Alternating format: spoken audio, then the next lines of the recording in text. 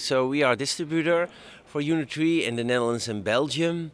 And today we are presenting the latest robots. And I always say future is now because we're actually selling them already to clients in the Netherlands. Yeah, and what kind, um, you, you, say we already selling them, uh, they, they, can be used. What, yes. what are typical use cases at this point in time for humanoid robots?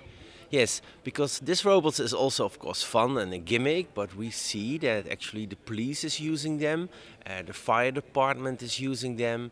We have also uh, offices that are using them. That's more a gimmick for guidance, uh, and a lot of university to do research. But uh, the first clients that actually using them, yeah, are the police and the fire department. Uh, for example, for safety, because when a human as yeah maybe a danger, then it is better to send a robot to do some to bring something to a hostage or maybe to observe something or gas detection in a in a house. Um, all those those kind of things. Yeah, and uh, we see a lot of investment, especially by uh, American companies, but also Chinese, of course, in the integration of humanoids and AI. That's also what we see here yeah. at uh, at ICRA. What, yeah. What's your opinion on, on that? Those two technologies merging. Yes, so what you see now, of course, there's a race going on. A lot of companies are investing in humanoid robots because they can actually do something now that is coming in the neighborhood of a human.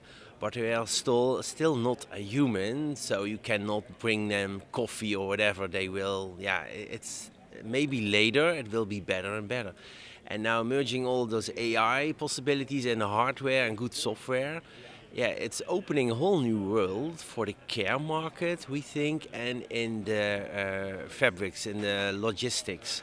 That are the main focuses what we see, and that with machine deep learning, they learn on the spot to pick up things or, or whatever. And I think that's a breakthrough, especially for humanoid robots, that it is combined now in the latest technology.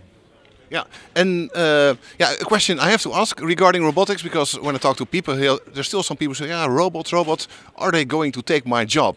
Well, yes. what's your answer to that? Oh no, they will help you. They will definitely help you, um, especially yeah, if you see the movement of my arms and my yeah, a robot cannot do that at the moment.